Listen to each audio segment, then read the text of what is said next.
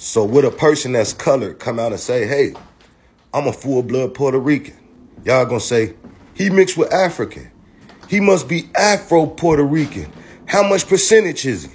But when one of these motherfuckers come out talking about, I'm full blooded Puerto Rican, nobody questions that he still speaks Spanish. Nobody questions that he's a Spaniard, that they settled there thousands of years ago. Nope. But they'll bring up talking about thousands of years ago, Africans came to Africa. This is bullshit.